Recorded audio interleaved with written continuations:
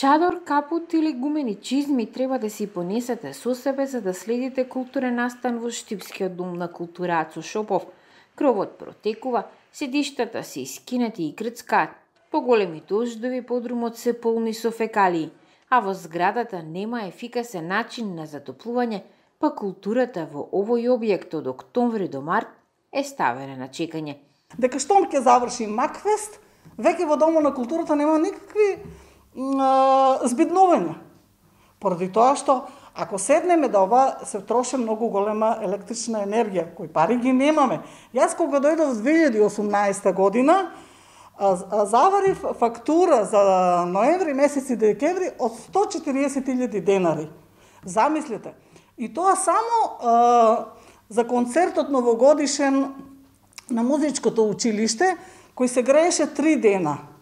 Студената сала не е новост, се топлат со греалки, оти пред неколку години исчезнале сите радиатори. Каде и како никој не знае, никој не е повикан ниту на одговорност.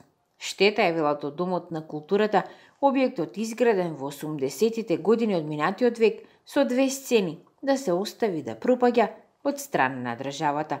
Без Дом на култура една средина, како што е Штип, кој што има универзитет, кој што само по себе наназад знае да има или има богата биографија и врз база на таа богата биографија се гради и некоја светла иднина или сегашност која што е за респект, за мене абсурд. И година во овој објект не доби пари за санација. Коронавирусот им зададе уште еден удар, бидејќи се остана и без парите што ги добиваа од играорни и балетски студија за користење на просторот. Се надевам за 100 годишнината на Ато Шопов, тоа е 23-та година, мислам дека Министерството би се сложило со мене и би размислувало до тоа да ни дадат средства да го сето тоа средеме и да го донесеме у едно, може би, не велеградско, али сепак едно 80% од сите работи што ги кажав тука, да ги донесеме такава една нормална. За условите во објектот по чии скали чекорале многу славни уметници и изведувачи, Пред две години алармираше и маестро Симон Трпчевски, но работите од тогаш не се сменија.